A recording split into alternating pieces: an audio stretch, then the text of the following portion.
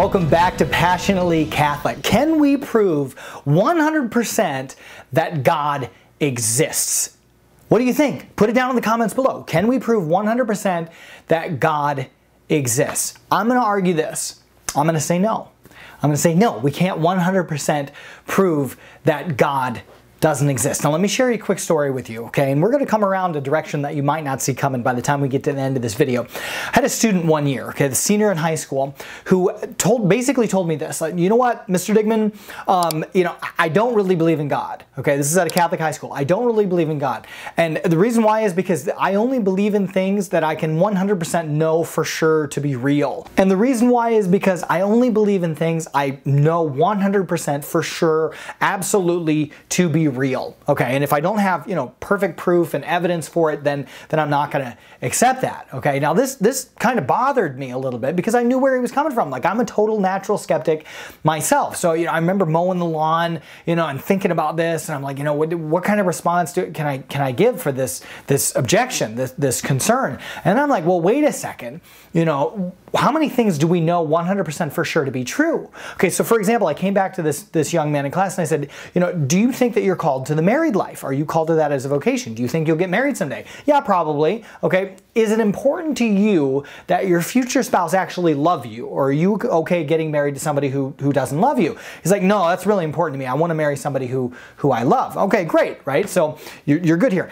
Um, how are you going to 100% for sure know that she loves you? And he's like, "Whoa, well, she'll be nice to me, and she'll tell me she loves me. You know, she'll be affectionate and affirming, and you know, maybe give me you know gifts here and there, like whatever it is. Okay, she'll be supportive. Um, she'll tell me she loves me, and I'm like, well, fine, I get you on that, but are you? Will you be 100% for sure, absolutely sure that she actually loves you?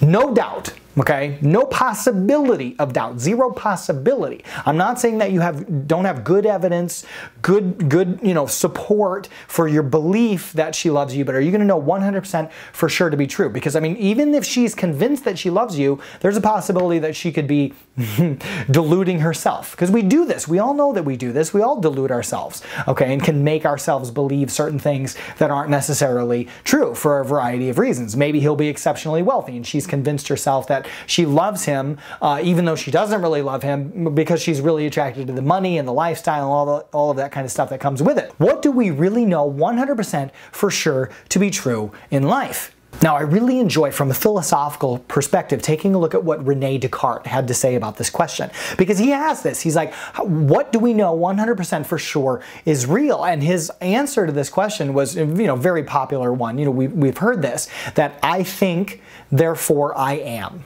I think, therefore I am. Okay, what do we know 100% for sure to be real? You know, I'd ask my students this and they're like, oh, the desk, you know, or, you know, this person next to me, or you, you know, I know that you're real. Well, maybe not. I could be in a, you know, huge figment of your imagination. Maybe we're living within, a, a we're living in a dream with that, you know, is within a dream, you know, something like that, okay? Um, who knows? Maybe this is completely fantastical because our senses can be messed with. It's not that hard to mess with our senses, okay? And some people say, well, this can't possibly be a dream because like when I dream, I know, you know, I wake up you know, I'm, well, wait, maybe this life is actually a dream. And at the end of this life, when we die, maybe that's when we wake up from this dream experience that we're in. Okay. And they're like, well, well, that's silly because I can just pinch myself and that wakes me up from a dream. And I'm like, well, maybe, maybe like when you're dreaming, you're like in two layers deep. Okay. If you've ever seen the movie Inception or the movie The Matrix, okay, these older movies, these deal with this philosophical question of, of what really is real and, you know, what do you know 100% for sure to be true? But like consider this with the dream.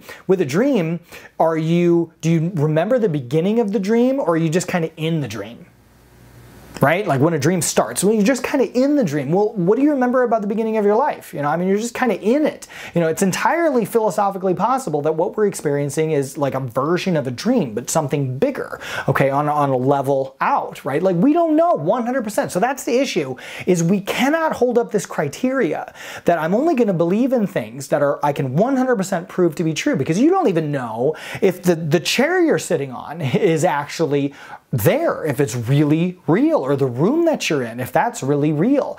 But according to Rene Descartes, you know that you are real because you're thinking. And the fact that you're thinking means that you must exist. Okay, well, wrestling with this thing in terms of God. I, you know, I'm not just this crazy, passionate Catholic guy saying th- this stuff. Okay, even Pope Benedict, for crying out loud, would recognize that we don't have 100% proof. Consider this. He says, you know, just as for the believer who believes in God, they must experience doubt of their faith as a continual temptation. That they that they always experience this possibility that maybe I'm wrong and that maybe God doesn't exist. Okay, so too for the unbeliever who rejects the idea of God, the existence of God, faith remains a constant temptation and a threat to their apparently permanently closed existence as well. Okay, it's entirely possible that the atheist could be wrong and they experience that as a threat, just like for the theist, they experience the threat of the possibility that they could be wrong. And a couple of guys who experienced this were, were C.S. Lewis,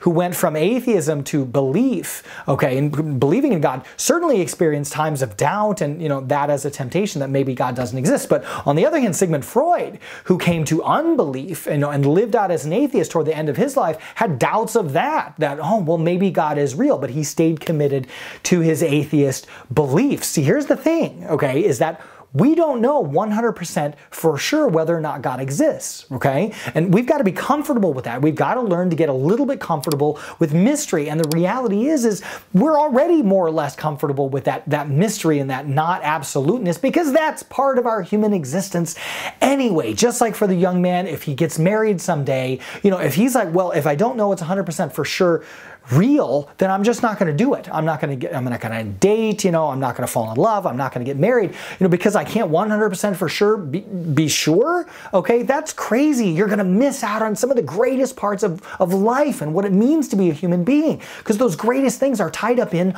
relationships with people, and this includes a relationship with God. That is what Catholicism is all about, is this relationship with God and the eternal life that he has available for us and his plan for our life, okay? Now, some people will also object to God and say, well, you know, I don't really understand the idea of God. Like, I can't wrap my head around this idea of God, and it's just too complex, so I can't believe in something like that. Well, here, here's another truth, is that a God that you can fully wrap your brain around isn't God. Okay? God has to be infinitely beyond us in every way, shape, and form for God to be God. Okay? So you, you can't have as a criteria, well, I don't really fully understand God. Of course you don't. Okay? Like an ant isn't going to be able to fully understand English versus French versus Spanish and art and music. Okay? Literature. Like they're not going to, it's an ant. Okay? It's not going to be able to understand these human things, okay? Like cooking food even, right? Uh, an ant's not going to get that. You know, and us versus God, God is so much further beyond us than an ant to us, okay? That is just unimaginable. And yet, God loves us so much that he comes down to our level. He reaches down at our level to share not just truth with us, not just eternal life with us, his very self with us, especially in the person of Jesus Christ. And Jesus perpetuates that, especially through his church, the Catholic Church, and the Eucharist. He continues to pour himself out and give himself to, to us through the sacraments and especially the Eucharist, Jesus' body, blood, soul, and divinity. If you agree with us, be sure to like the video. If you haven't subscribed yet, please subscribe now so that you don't miss any future Passionately Catholic content. Special thank you goes out to all patrons who make everything we do here at Passionately Catholic possible. May God abundantly bless you and I look forward to being in touch with you again very soon.